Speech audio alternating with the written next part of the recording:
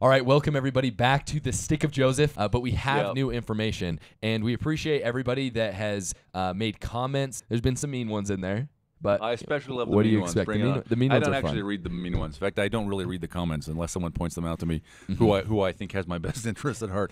Um, yeah. In addition to new information, because you've had a couple of interesting calls, and I've been on some of them. Mm-hmm. Um, uh, I want to uh, provide some further explanation. I want to ex- explicate some of the things we said two days ago at length. Yeah, no, and, and that's the thing is like we don't even need to. We so yesterday, just so you guys know, I so yesterday, just so you guys know, I I talked to both Dr. Jones himself. I had a good conversation, and then uh, I talked to two other Hebrew scholars who don't believe that they're real. Um, and we just barely, you know, got off a call with one who really awesome, cordial dude. Uh, very knowledgeable as well, and he explained clearly why he believes that they are fraudulent. And then we we have some other information that we got from that conversation that we'd like to share with you guys because at the end of the day, the jury is out. Some people will immediately say, and and that's a, a majority of the negative comments are these are obvious fakes. Right. And what we're gonna show here today is could they be fakes? Possibly, for sure, they and- could be fakes, but that doesn't necessarily get rid of their value, as you're going to point out here. Yeah. And uh, they also could not be fakes. The jury is out. I guess Yeah. is what we're saying. And the jury is likely to be out for a long time. This Mhm. was, um, uh, look, it, it's easy to remember uh, to forget this, but the Dead Sea Scrolls are discovered in 1947. But the first complete publication of a Dead Sea Scroll is in the late 70s.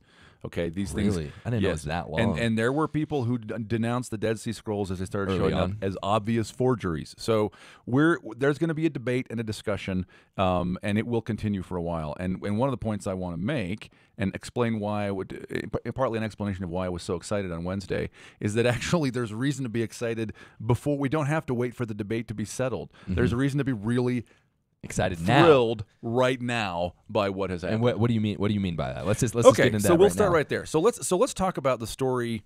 Uh, who, who are the known parties here? There's there's people who show up in, in Saudi Arabia with these plates. Mm-hmm. Okay, uh, the only description that we have of them is that it's an Arab, right? That's Yep. that's all we know. So probably a Muslim, but I don't know. Doesn't Mm-hmm. have to be. Um, so we have the let's call these people the sellers. 'Kay. Okay. Uh, and then we have the we have the buyers, right? Who are uh, the the the two guys who was being inter- interviewed on the show on Shabbat Night Live, who again I think are owner operators of a Bible Lands uh, tour group. Tour group, Okay. Uh, and, and let me just say right up front, right? Like I don't want to say anything to denigrate those guys. Uh, No. I, they seem to me like uh, you know people of faith and belief who are willing to. They they had to have known there in, in some sense tying their credibility to this stuff, right? So For sure. And I, and I will say before we get into this, having talked to Dr. Jones, I didn't ask him if I could share the specific details he, he did, so I'm not going to share those. But just my general sense of him is that he is very sincere. He is a good dude. And he also isn't just an immediate drinker of the Kool Aid. He talked about how he's received multiple, multiple fraudulent artifacts in the past that he has turned down. And he gave me reasons to believe, or why he believes that these don't fall in that same camp. And so if, if there is some sort of weirdness going on with these artifacts, it's not coming from Dr. Jones's side. it's probably with the Uh, It- seller. It, would if- be it would be the seller. So That's what it so looks I really like Dr. Jones, and it Yeah. seems like he's doing a really cool ministry. Um, and I can't remember where he's at, where he's located, but good guy. Yeah. So we have the seller, we have the buyer, and then we have the platform, Shabbat Night Live and Michael Rood. Mm-hmm. Okay. So I'm gonna I'm gonna use I'm gonna use those abbreviated defined terms. The, Okay. the seller, the buyer, the This platform. is like so a this is like a legal document at the beginning. it just shortens the amount from of here on words I out, have you will use from here. know right. this as the company. hereinafter referred to as. So the seller shows up and they have these documents. And the documents, together with the story that the seller tells, like about the, how they're found, okay, adds up to, I think this is kind of 11 points here. Um, and, and maybe you'll remind me of others that I missed that I want to that I want to uh, Talk about. talk about. Um, there's a priestly family, ultimately of Jerusalemite origin. Okay, they leave Jerusalem because they're the losers in a political struggle. They flee to Arabia. Indeed, this is normal. This is the, the Arabia is full of these priestly uh, Israelites. Tribes. Mhm. Yeah, tribes, families. And and that is that is corroborated in in secular academia that there Yeah. are priestly tribes that existed in the Medina area specifically. Right. Okay. Very good. Yeah. So uh, they there is this there's a suspicion that they have um, with them what we would think of as lost books, books of scripture that relate to the Bible but are not in the Bible. The buyer refers specifically to what uh, what they they hope to find a book of Zadok or or um, you know ex- extracts from book of Zadok. Okay, but books that are not in the Bible. These people write their sort of more secular secular records, secular histories, and their um, legal documents on base cheap metals, okay, lead specifically, uh, but they write their more precious documents on plates of gold, which they bind together with rings into books. These this family is said to have strong Egyptian cultural elements. So we were told we're, we were shown pictures of two gold books and a lead plate. We're told there are multiple other documents. We're told that there are Egyptian images on some of them, and specifically Hathor with uh, uh, Horus, uh, or no Isis with Horus sitting on her lap being suckled. Okay. Um, which we talked about. That's an image of the king on his throne, the throne being his mother. Yep. Um, we're told that their language is a mixture of Hebrew and other languages, right? So they use, I can't remember what the languages they said. I didn't, I didn't rewatch it. I just wrote this down from memory Aramaean or Elamite Yeah. or something, whatever it was. Um, the uh, They ultimately store their. Uh, a bunch of these writings, along with other metal artifacts, inside a vault built of stone. Okay, and uh, and they are obsessed with the heavenly ascent, Jacob's ladder, the temple, and in particular the tree of life, which is the menorah. Okay, so uh, am I missing any of the any of the big points off that list that are like really the the sort of correlations with Lehi's story? That's the point. No, there's other correlations, not necessarily with Lehi's story. Like, for example, one that I think is uh, in Don Bradley's book. You know, you have the circle seal, Oh, and the then you have yeah. uh, then you have um, the Hebrew or what are known as crooked characters aligned in columns, which very much looks like this that I have up here on the screen. Um, so there, there's there's, but yeah, I think that Yeah. that summarizes Okay, all of it. So I got like an 11 point correspondence, okay? So this is this is the this is the Lehi scenario. Okay, in 11 points of pretty, I think, uh, detailed and specific correspondence, the story that the buyer tells, right, in a combination of the artifacts the buyer presents and what it says about provenance, is in 11 11 points the Lehi story. Now, one, why would they tell that story? Let, let's assume, okay, two scenarios here if these documents are genuine, okay, then actual books on gold plates have been found and and the story of them being found is the Lehi scenario. Should we be excited about that? Man, we should be excited about that, mm-hmm. right? Yeah. Let's assume that the seller are forgers though. Okay? So they they they concoct the documents and they get to and they and they put together the story and they go to the buyer and they tell the Lehi scenario is the story for why you should come up with probably at the end they're going to be asking for hundreds of thousands or, or millions or tens of millions of dollars. I don't mm-hmm. it sounds like there's lots of documents, so I think they're going to ask for lots of money. Yeah. So, which by the way is normal. This happens all the time, and this is how antiquities are discovered. They're found, they're sold, they get to museums eventually. Mm-hmm. Okay. Uh, why would you tell that story if you're the seller? Well, the answer is you can. The only reason you would tell that story is because you expect the buyer to find it plausible. You are trying to tell a plausible story of why these artifacts exist, and your plausible story is the 11-point Lehi scenario about priestly families going out in the desert, writing on gold plates, fleeing their political enemies, having Egyptian cultural background, all that stuff. Now, uh, real quick, I, I do want to point out the probability that whoever the sellers are, let's say it is a forgery, are thinking, hey, you know what? Have you ever heard of the Latter day Saints? Let's- this obscure little group that doesn't even have missionaries or churches within, you know, a thousand miles of us. We should make something, but then not even try to sell it to them. We'll sell it to someone else. that is an evangelical or or is a different type of Christian that probably thinks that they're stupid. To prank them. And so, like, I, I think that there's something really clear there. Like, it, obviously, they're not trying to match these 11 things because Right. we are the buyers. Right, so That this- the Latter day Saints are the buyers. That's right. It would be a different story if they approached the LDS Church Nibley's and grandson. said, "We would like we would like to sell this. Send Dallin Oaks out to look at the documents." Yeah. Okay. They didn't. They approached these Christians with this eleven point correspondence with the Lehi story. Now, so a the sellers find it plausible. Do the buyers find it plausible? Yeah. The buyers also find it plausible. Mm-hmm. Yeah. Right. Because they they find it plausible enough to commit their reputations to they're looking they're still doing research right they're doing Mm-hmm. metallurgical analyses and other stuff and maybe you'll talk about some of the things you discussed Yeah. um, but they believe it's real right but th- by the way they go and get on the platform. Does the platform find the story plausible? Why indeed. The platform also finds the story plausible. So listen if these documents turn out to be forgeries Mm-hmm. this is still wonderful because the the the seller, the buyer, the platform are all telling us something, which is that the story of Lehi in itself is mm-hmm. not a problem. Without them knowing that they're telling that. Right. It is totally a plausible story. In other words, the story that Joseph Smith told in 1829 about this family fleeing the desert and having their own scriptures and all this stuff, totally believable. Mm-hmm. Okay. We should be excited about that, even if these books turn out to be frauds. Because everybody in this story has no problem mm-hmm. with the the Lehi scenario. Yeah, and I think a, a different way, a way of conceptualizing that to kind of match something that would be, you know, our day to day. If I was to make a fake of U.S. currency, if I were to bring you a three dollar bill or an eight dollar bill, that would be stupid. That would be uh, you're not even going to consider it. Sure. right? Sure. But if I bring you a five dollar bill, then we have a question to ask. Right. Okay, so we, we do know it's at least a five dollar bill. Then you start looking into the different elements of what makes a five dollar bill. What year is it? What sort of iconography is on a five dollar bill? What Right. is the paper made of? So that's a question.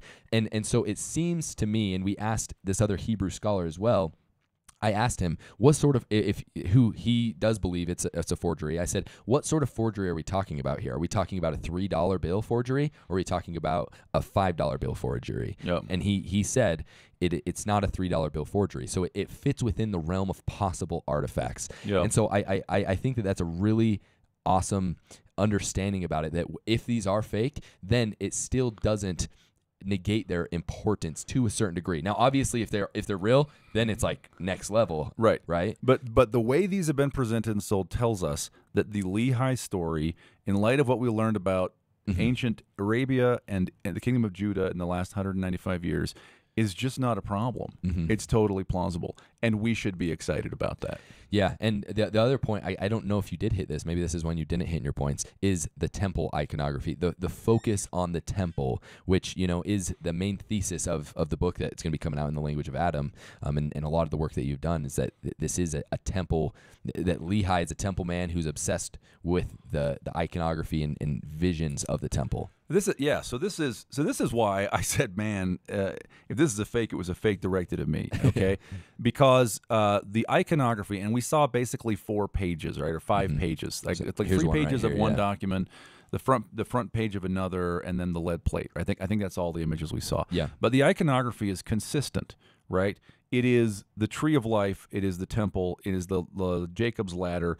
Uh, it's it's palm branches. It's all it's all Davidic king and temple ascent stuff. And in, in fact, the the scholar we talked to this morning even said, you know, uh, these forgers. Uh, at first, he sort of wanted to resist my characterization. I said, "Man, look, if these if these are forgers, they're they're they're pretty smart." And but then he kind of started to concede it, and, it was his example. He said, "Well, okay, they did, for example, avoid using the Star of David, right? So Which would have given it that. away as a forgery because that's a that's a late symbol, right? Um, but but but yes, also they don't use uh, they don't have in in the pages we have seen you know pictures of sacrificial altars or images of the Ten Commandments or other kinds of images that would that would sort of um, that would well well this is like this is so this is for me kind of point B, right? So we're shifted here into point B. Point A, the Lehi scenario has been validated already. Like this is already a win for Joseph Smith. Whatever the uh, community ultimately decides about these documents, which may take 30 years unless there's some kind of smoking gun. Okay. Um, point B, uh, there's what was happening during the first temple, uh, meaning up to you know uh, up to 600 BC. Okay, like 1000 to 600 BC uh, in the kingdom of Judah uh, is is debated, and if you read kind of the Bible straightforward in a pulpity or Sunday schooly kind of way, um, you are reading through the lens of the last editors. And what you would think is okay, you know, the cult all got centralized. The sacrifices were all at uh, Jerusalem. It was, you know, blood sacrifices. Uh, it, was- you know, the law of Moses is understood by Deuteronomy. Uh, that may not have been the historical reality. Okay. And so it is very interesting to me that the sort of four or five pages of icons we've seen don't show any of that stuff. It shows a non-mosaic iconography. It shows, you know, the fruitful vine. It shows uh, the menorah, which is the tree of life, which is, and, and and these are apparently, again, the claim is this is this is an old document held by a priestly family that ultimately had to flee Jerusalem, right? So that's very consistent with the uh, with two things. Okay, a with the argument. This is a reconstruction Okay, the argument that um, that prior to the sort the the this is a scholarly reconstruction, but the Deuteronomists, the sort of uh, the the partisans of uh, King Josiah in particular, who took over and imposed this stern, aniconic uh, view of uh, the um, uh, or, or version of, of the religion of Israel. Can I translate for non nerds? What you just said. sure. Yeah. So essentially, th- this group of people who were in power at the time of Lehi, that's who the Deuteronomists were. Yeah, Lehi talks about how he even even that elite, the high, the people in charge in Jerusalem were, had become wicked in his perspective. That's why he leaves. So what what Dave is alluding to is this idea, which isn't just in LDS circles, but there are people uh, like, for example, Margaret Barker, who is a Methodist, who espoused the idea that there was a power struggle around 600 BC. The ones who won uh, the power struggle are, are called the Deuteronomists, the bad guys in the Book of Mormon, and a couple things that they do. They de-anthropomorphize God, so they take away God's body, so He doesn't dwell in the temple anymore. His name dwells in the temple, as well as they remove uh, certain things such as the Nehushtan in the temple, which is the brazen serpent that gets removed and smashed Shattered, to pieces. yep. Um, and they also get rid of the uh, the tree of life in the temple, uh, which you know uh, is hypothesized to be be the menorah traditional thought is that the menorah was in the second room in the temple. What uh, Dave is suggesting is that it was originally in the third room in the Holy of Holies, and then was brought into the second room after this this group of Deuteronomists took control and Lehi bounces. So, so the A point, right, is that these icons look like the icons of a, a temple priesthood, but not the Deuteronomists, right? Like these are documents that might have survived because they were kept by a family and they were personal and private and sacred and hidden, and they and they show a sort of non-Deuteronomist kind of uh, set of icons, like non-modern and also non-Deuteronomous. That's the A point. The B point is, look. Um, I have a book coming out on May 1st, right? This whole thing is exploding at an extremely interesting time for me because I have a book called In the Language of Adam coming out on May 1st. And and at its fundamental level, one of the things that book is about is how the Nephites are people who are into the pro- the Nephite prophets are a priestly group who are interested in the temple ascent and who obsess about the tree of life. Now, again, we've seen five of these plates, four or five, whatever the number is, um, but they seem to be the same. Mm-hmm. Obsessing Right. over the tree of life. There's a menorah the or a tree on every Right. single. So to me, it's super fascinating. Now, if they're if they again if they are a fraud, well, man, they look like a fraud designed to me to, to come at me and and uh, straight at me, and I'd still pay two hundred bucks for one of those books Mm-hmm. Yeah. because it's awesome. It's Okay, cool, yeah. Um, if they're a fraud, they still tell us that the story of Lehi is understood by everyone to be totally plausible. Mm-hmm.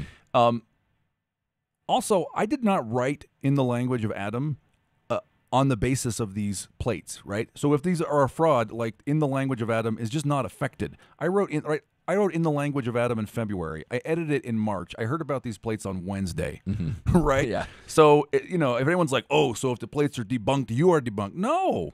Uh, but if you are interested in in like thinking about the Book of Mormon as the record, the sacred record of a group of temple people who ascended in the temple into the presence of the tree of life, quite specifically, it mm-hmm. turns out there is a book on the subject mm-hmm. coming out in four weeks. Yeah. No, I, I think I think the timing is very interesting. Now let's let's kind of get into now. I want I want to because there's going to be people that are pulling their hair out and just being like, "Well, address address the the issues that someone could see with this." Sure. And let, let's do that. Let's do it. So to me, You want to talk about the text first? yeah, let's talk about provenance first. Okay, Because I think uh, that was the thing that. So I, I asked the Hebrew scholar who, uh, once again, he's he's very well um, respected Jewish scholar, and he was like. I, I said, is this a, a clear characterization of what you are saying? That the biggest issue that you have with this is the provenance. So for those who, I just barely learned this word yesterday. So if you don't know, provenance is essentially, it's like genealogy, hmm. but for an archaeological item. So How, how it came to us. how it came to us. So in a in something that has a really strong provenance, it's a controlled dig where a university is out in the field. They uh, are taking pictures of every process of the dig. They find the item, they take a picture of it, they take pictures all around it, and then they put it in a bag. They send it with someone. They write down who it was sent with, where it got taken, and that's essentially what provenance is. The issue with this is the provenance is um, a story that was told about a construction worker Right. that dug into a giant chamber and they show up in a bag in a hotel. Yes, and so Right. that is an issue, and I, I totally understand that. But I, I asked And- him very straightforward. I said, if the provenance was you were out with a Hebrew university doing a dig and you found these, would you or not even you if it was it, if it was it's clearly documented Mhm. uh, well-respected university found this like would it be a totally different discussion? And he said he said yes i would be finding reasons why this is legit. And and then he told us what those reasons would be which i, I found to be very helpful. So i think for me personally as well that is the biggest issue with these is how they came about. We just can't know. And i think that's what most critics are going are going to point out are the issues. Then um, comes the second issue and i'll, I'll let you kind of head this part up. Um, because I you gave me the question to ask him that kind of unlocked this conversation we Oh, had with him. text. But the text. Yeah. When we first started having the conversation, he was like, "I yeah, these are Hebrew, uh, Paleo Hebrew words. I'm not seeing anything else. Some of them are hard to read because of lighting and stuff, and it's hard to tell if it's an aleph or daleth or whatever. Right? I don't I don't speak Hebrew, so I don't know what those letters are.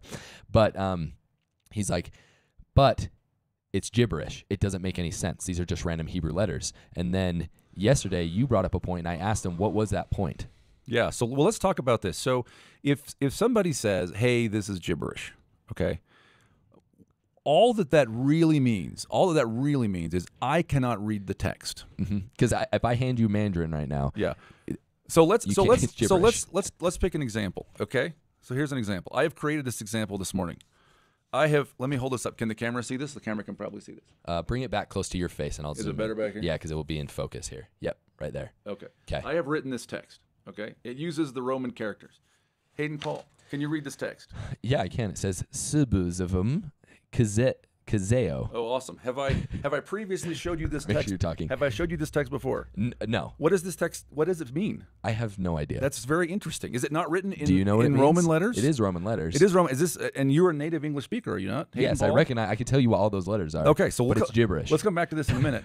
so there are several reasons why a person might not be able to read the text. Okay. One is it literally could be a forgery. That's one. Let's let's just say Sure, that it could be a forgery. Okay. Uh, another another possibility is that their language skills aren't as good as they think. Mhm.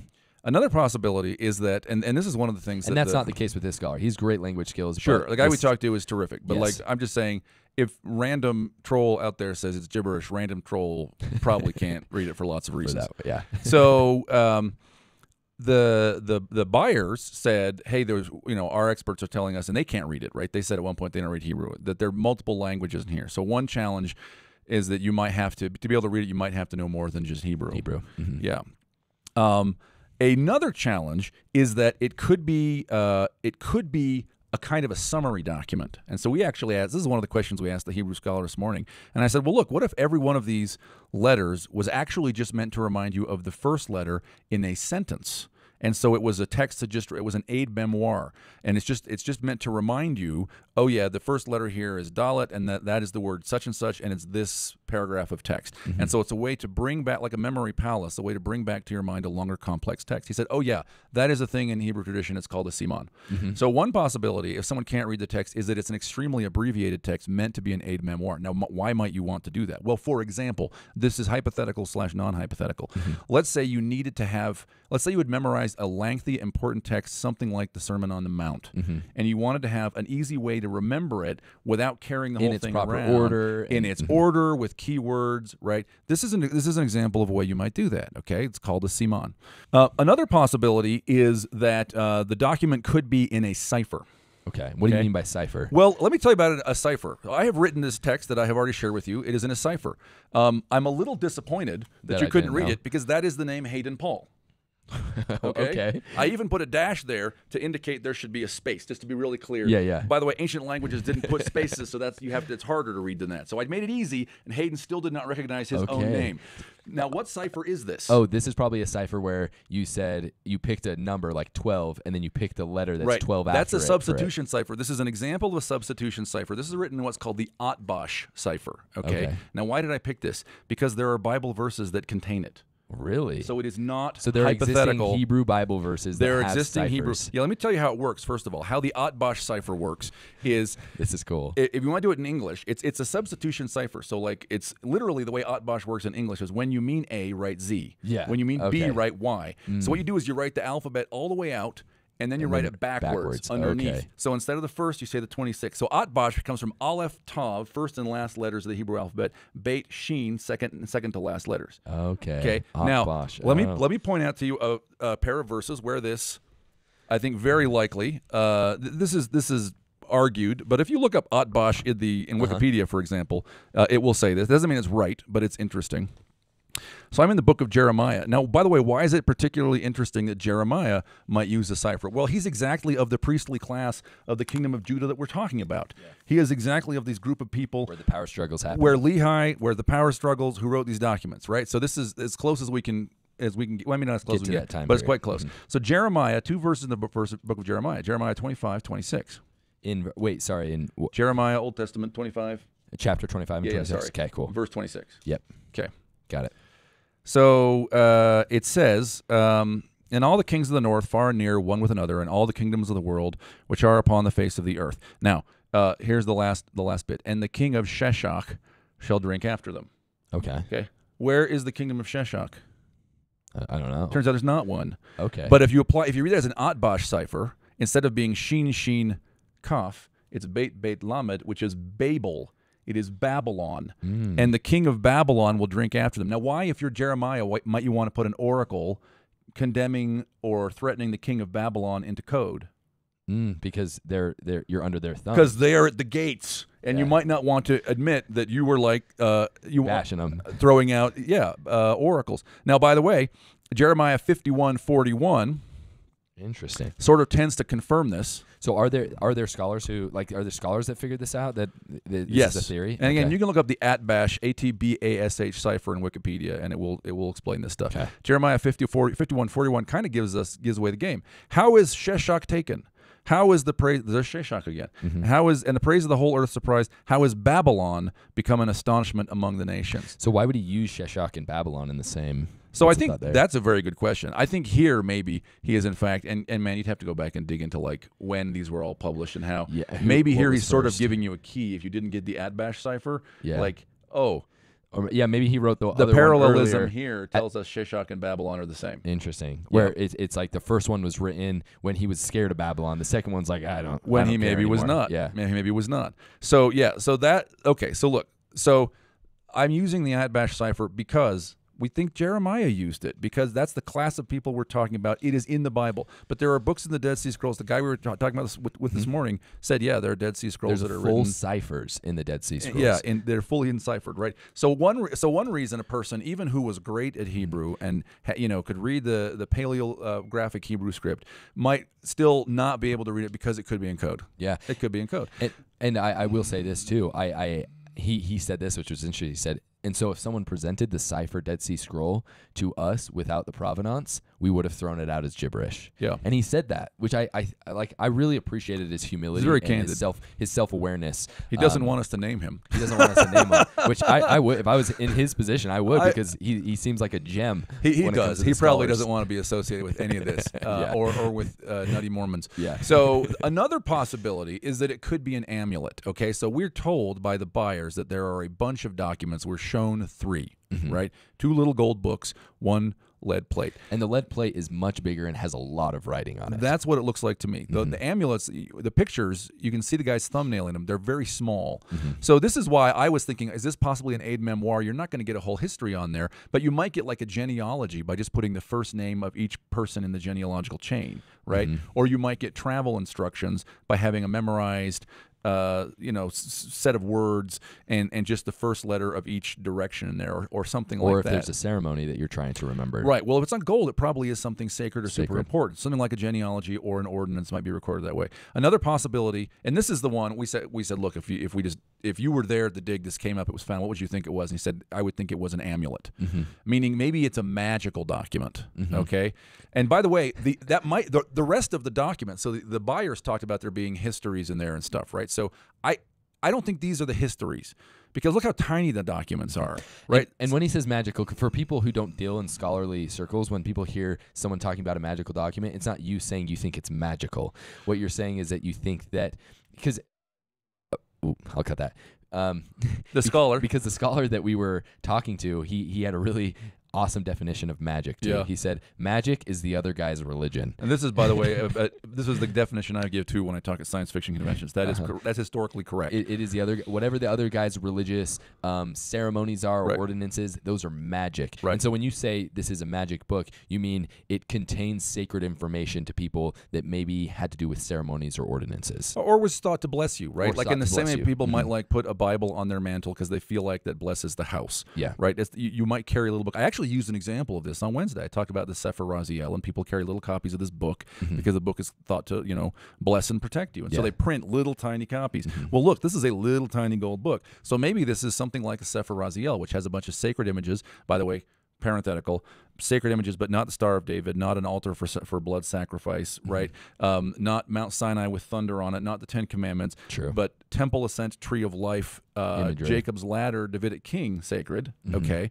that you carried around maybe to, to to bless you to bring good luck to show your status Mhm. Which to us in the Western world just seems like that's absolutely ridiculous. But how many of you, uh, maybe not in the LDS crowd, but in the in the rest of the world, how many of you have special underwear when you watch your favorite team, or you know, like that sort of? We say it's like superstition, but dude there's a whole back then it, it was it was a part of normal worship. this is a whole other conversation you and i can have someday but i'm going to tell you this right now hayden Mm-hmm. magic is not gone I know people who have built their houses in the last five years, and the water company to place the well came out with a dowser and found the well. okay? Really? People still do, do The still do this rods. stuff now. Uh-huh. Um, so That's super interesting. yeah, this is not like far away in another country. This is the water company in Utah. Okay, so general contractors. So um, yeah, so it could be, and, and this was his guess. He said, "Look, if I if this if the provenance didn't like make me super suspicious, I would look at it and I would say it's probably an amulet. We should be looking. So so by the way, wh- why might the text be hard to read on an amulet? Because amulets classically include magic words that that are sort of gibberish to a standard reading." Okay, because they're because they're the sacred words from somebody else's religion, uh, because they're like a they're thought to be a secret name of a god or a secret name of an angel that protects you, right? So he said, look, that would be the thing I would be guessing. for sure. Yeah. Now, The other piece of the text is he said, uh, look, uh, there, there's into his reading, there's more than one Hebrew alphabet going on here. There's some letters he can't make them out. Some letters are clearly Paleo Hebrew. Some appear to be the later so-called square Hebrew letters. We should say appear because maybe not Yeah. right? Um, but he said also, hey, there are plenty of documents that do exactly this, that write keywords in one alphabet. the Paleo Hebrew, Right. And then, mhm. Which the reason he gave for that, and this it will lead us into the next issue that he had, which you know is, is fair. Is he talks about ancient coins, and he talks about how, um, for example, th- there would be. Uh, Jewish kingdoms. I, I, I can't remember exactly the wording he used, but essentially they would use Paleo Hebrew on their inscriptions and on their things to show like, hey, we're rooted in like the patriarchs. Like we're mm. using these old this old language. So they would use it for specific things, but not for everything. And so then they would they would write everything else in, in you know the block letter Hebrew or something like that. But they would use the Paleo Hebrew for you know the very important things. So Yeah, this is. I, I asked him the question. I said, look, from my point of view, for all the reasons we just discussed, the text is going to remain uh, uh, controversial for as long as the, this, may, you know, as long as this has not been resolved. What these are, the text is going to remain controversial. Anyone who says the text is gibberish has not thought about it hard enough. yeah, So um, the I said if I were trying to prove this was a forgery, even if I was like trying to prove that it's true, like I would I would attempt to go disprove it. That would be the effort. And- And I'm not doing that one way or the other. I have a audiobook to record and other stuff, right? I have taxes to do. But if I were, I would look at the icons and I and I would try to see are these icons clearly copied. Mm-hmm. And and what resulted was a very interesting discussion where he says, well, the icons are a lot of the same icons that are common on certain coins, specifically the menorah. He didn't say Jacob's ladder was yeah. No, he didn't say Jacob's Ladder. the, was the menorah common and ones. the palm the palm tree. But even the palm tree one, the example he gave, and and it, it's probably not all uh, all inclusive. There's probably more, but the example he gave was a Roman coin. was a Roman coin. so coin. it wasn't even a Hebrew. It wasn't even a Hebrew. but coin, also the right? example he gave was the daughter of Zion crying, weeping under a tree, which like is exactly the image of the goddess of Jerusalem being defeated under her sacred tree. Like that Yeah, is exactly. uh-huh. I was like, okay, I'm not gonna have this conversation now right with now, this guy. but it's cool. Yeah. So like, but yeah, that's that's we Romans have defeated your your nation, right? sure. As personified. So um, yeah. So hi- his view was, yeah, the the the fact that there are a lot of menorahs means I think they're copying off coins, but he didn't have any examples where this is clearly a direct copy, like this coin got copied to make this, right? So. Uh, and Hayden raised the excellent point where he said, "Well, listen, you know, a person would put uh, an icon on a coin for to, to communicate because they value that icon, right? Mm-hmm. Wouldn't they put the icon on a seal for the same reason? The guy said, "Yeah, absolutely." so uh, it, it, it's a good question to say, hey, if if these uh, if these images are basically copied, maybe what's got where they're or or they're inspired from real world images. Maybe what they're inspired from is some they've got a few coins or something. Mm-hmm. Yeah, and one that would be the theory. One thing that's important to, to, to point out is that it wasn't there were none none of the icons in here, especially the seals, exactly match an existing coin. So that's that's one thing to point out. So at least if it is a forgery, they were sophisticated enough to pull from a bunch of different coins. But even even then, there wasn't. Um, the thing that was interesting is one of the plates had a specific consistency when it came to the menorah. When the other plate, so you're seeing this one right here, it has this menorah that has the, the three steps. Now Mm. he has his ideas on on what where that comes from. He Um, said the Arch of Titus. He said of he Titus. said uh, in the in the classic um, Judean pictures of the menorah, and this is true with some of the ones on these plates. They just have a triangle at the bottom, yeah, like that one to the left. Yeah, that a has, has a, tripod. tri- a tripod at the bottom, whereas the Arch of Titus has kind of three um, steps. Now, I actually haven't looked up the Arch of Titus since we talked to him to check. Maybe we could do that and throw the image in here let's if it's look it correct. That's on Wikipedia too, or just Google Arch of Titus images. You'll see it. And um, and he said, and he initially said, so that's a modern image. I said, okay, you say modern, but Arch of Titus is actually Roman. It's like first century CE, right? And, Okay, yes. So there's an interesting question, right? Why they would show, um, why the document would show three steps. and even the Arch of Titus. I mean, look at yeah, I, you can see it's in three separate Oh, things. so, so like so like down yeah left like just down and left two from the two from the bottom left oh, corner here. no no go back Okay. like there like there that bottom left one that's that's the menorah Oh, okay. right there it is Boom. So even that though only has two. yeah so actually that's not quite right right his version that's super interesting Now, now one thing that is interesting on that though, Arch of Titus menorah. So you do get kind of like the weird uh, tops on them, and it is the circle. Which when you look at, uh, where's the previous? This one. I mean, you don't get the rings along, but you do get the tops that are similar, and it is circle. But yeah, so if you were two, copying uh, if you were copying the Arch of Titus you would have put two by the way I'm, I'm gonna sound obsessive right yeah, like you pointed out, and I think this is a very interesting reading, that three steps beneath the menorah is an interesting indication that menorah should be in the third part of a three-part space, sequence. Yeah, The Arch of Titus there shows it in the second, which when Titus sacked Rome was where the menorah would have been, okay. and not maybe- not in the Holy of Holies. so here's another one. One, two. Yeah. One, once again, two. Right.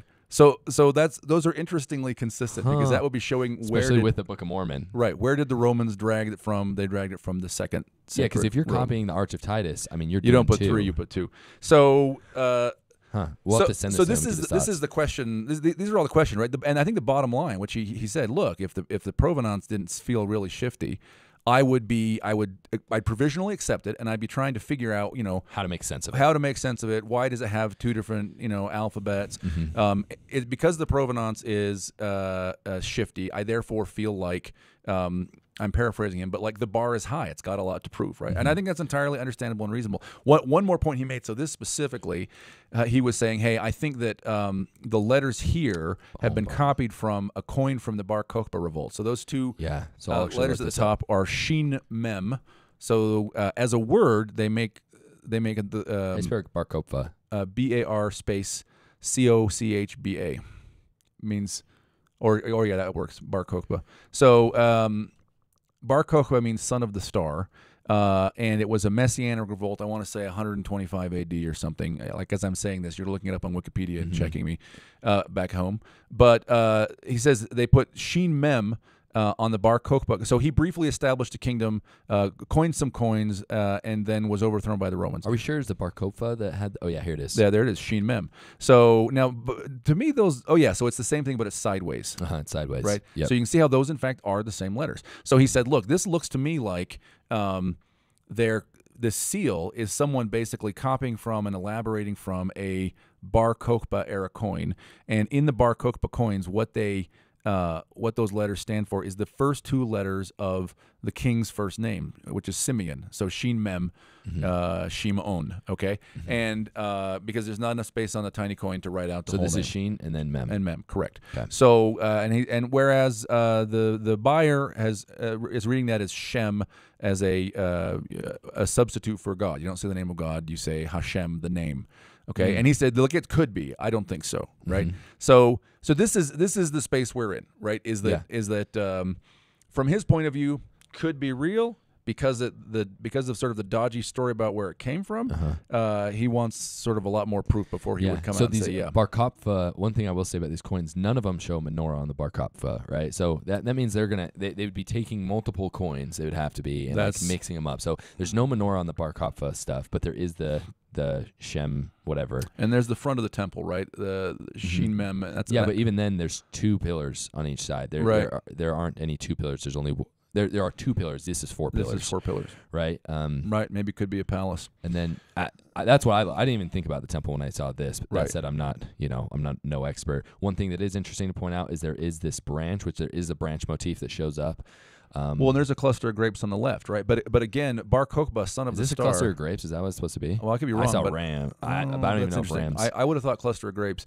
Um, but he he was seen in messianic terms, and people who opposed him Yeah, called him Bar grapes. Koziba, son of the deceiver, Mhm. uh, and his and his uh, supporters called him Bar Kokhba, son of the star, as a reference to the prophecy of Balaam in the book of Numbers 25. A star shall arrive, arise out of Judah, which Mhm. his his people understood as being a reference to him. I think his name is actually a third thing. I can't remember what his, his actual name How is. is this stuff just in your head that you're just winging out, bro? This is insane. I'm I'm old. you're a freak. I am You're old. a freak of nature. Um, so amazing. Um, yeah. So uh, so look, what is? I don't know that we're wrapping up, but like like what do I think about this? I still think uh, uh, I, I am more. I think it's more likely than not that they are ancient. Mhm. Uh, we haven't seen all the books. These could even just be amulets that are part of the find, and like the other books have other stuff, right? I Mm-hmm. Yeah. mean, I mean, they described Egyptian images, which we didn't see. Um, they described histories. We did not see documents long enough to write histories, right? Mm-hmm. So what they are describing and what they are showing are different.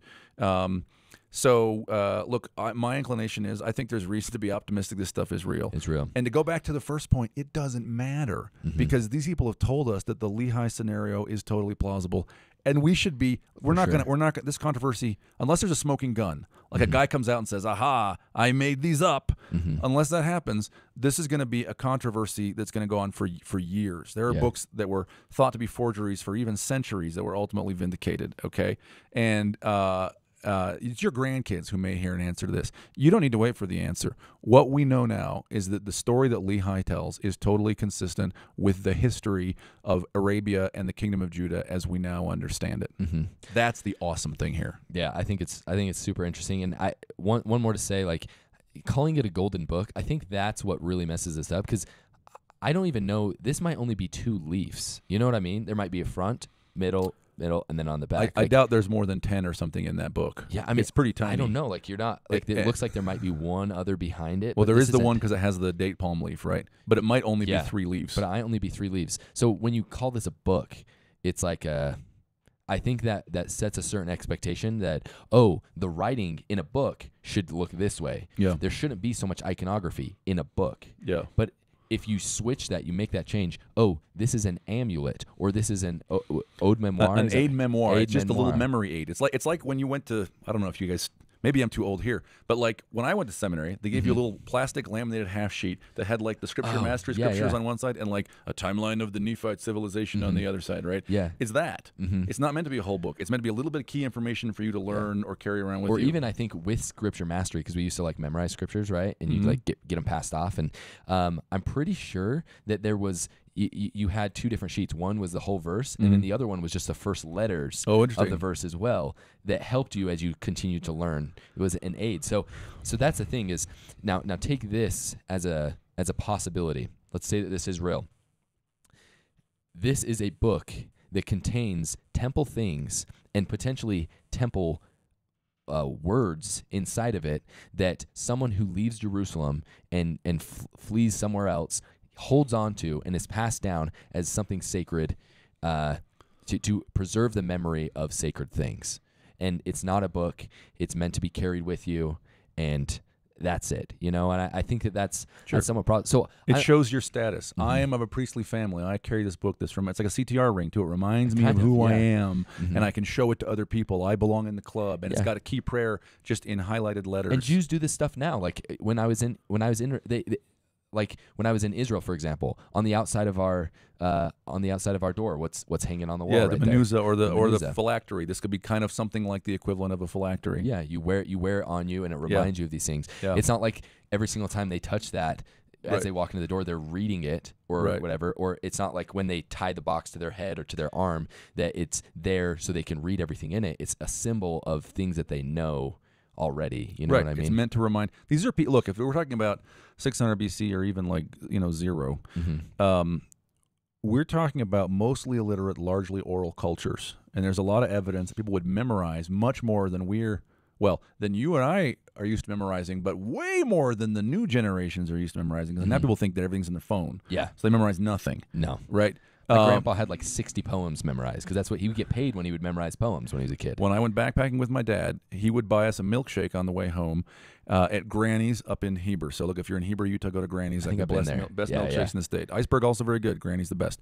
And uh, but only if we memorized the scripture that he brought with us, and it Hmm. was not a verse; it was a chapter. So we'd like memorize Isaiah 11 or like the last makes so much the sense. last 14 verses of section 121.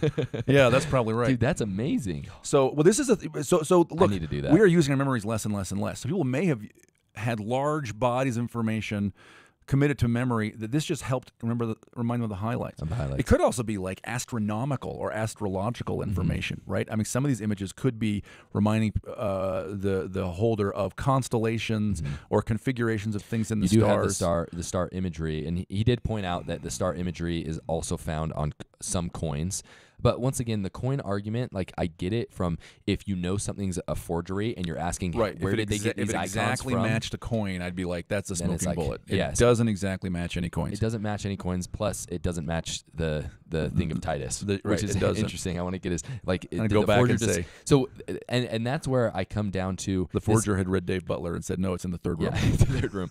Or this is the thing that's really interesting that I, I see is, and, and I see this with arguments against the Book of Mormon as well.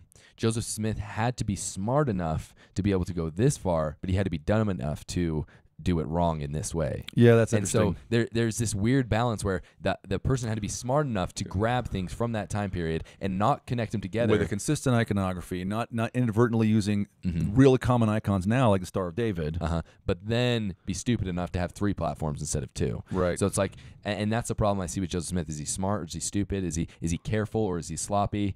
And and that's the issue that we have with these. Yep. Um, that said, it's really hard with this when we don't have it in our hands and we aren't able to assess where it came from. If they could take us back to the spot, you Right. know, where where this hat where they found these, Right. then you could maybe find some organic material in there, And carbon date it. 14 date it, and then Although the problem is at this point, people would who didn't want to believe would still say, "Okay, yeah, was that it though?" Because it was uncontrolled when you found it. Mhm. Did they add this in later? This is the story This about the Dead Sea Scrolls too, which was found by a shepherd boy Mm-hmm. whose name I forget what it is in Arabic, but his name is the Wolf. Yeah, and he was so chasing cool. a stray goat and threw a rock, and it fell into a cave, and he heard like a chink of something breaking. Breaking. He goes down, and it's a bunch of pots. Mm-hmm. It sounds fake out of a movie. Like if Right. someone came to you and said, "Yes, the shepherd boy threw a pot and he found this pot, and then he found a scroll of Isaiah from the first Right. century, Right. You're- or from B- 200 BC." Isn't that Right. the oldest Isaiah scroll? I think in that's there? right, the Great yeah. Scroll. Yeah, 200 BC. Then you'd be like, "That is an obvious fake."